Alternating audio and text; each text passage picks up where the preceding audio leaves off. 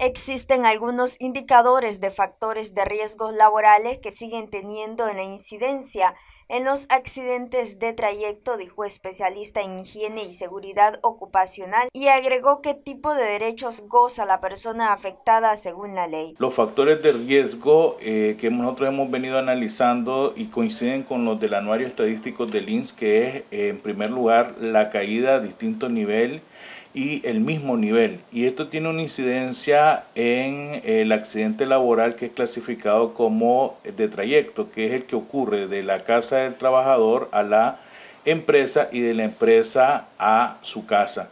Entonces estamos viendo de que hay que manejar las alertas cuando nos desplacemos eh, de nuestro trabajo a la casa y la casa del trabajo y de igual manera mantener las direcciones porque en la investigación de accidente eh, uno de los requisitos es ver cuál es la trayectoria. Entonces nuestra dirección domiciliar tiene que estar clara y ser la que donde nosotros actualmente eh, tenemos el domicilio.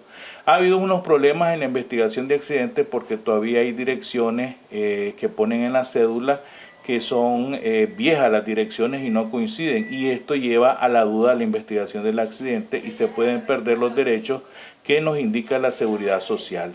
Entonces hay que estar atentos con esto porque eh, no podemos perder los beneficios que por derecho tenemos con la seguridad social, como que pueden ser eh, el hecho de exámenes médicos especializados, atención especializada y algún elemento que nos puede ayudar a que nos integremos de la mejor manera a la vida laboral, como puede ser un andarivel, un bastón, una silla de rueda, etcétera. Rodríguez indicó que Managua ocupa el primer lugar con los accidentes de trayecto y las enfermedades laborales. Managua sigue siendo el departamento que eh, presenta la mayor parte de los accidentes y las enfermedades profesionales, seguido del departamento de León y Chinandega. Entonces estos son los que despuntan con los accidentes laborales. Y de igual manera el sector o la ocupación que tiene más accidentes laborales sigue siendo el de servicio público. En segundo lugar tenemos lo que es la industria de la manufactura y en tercer lugar tenemos la agricultura.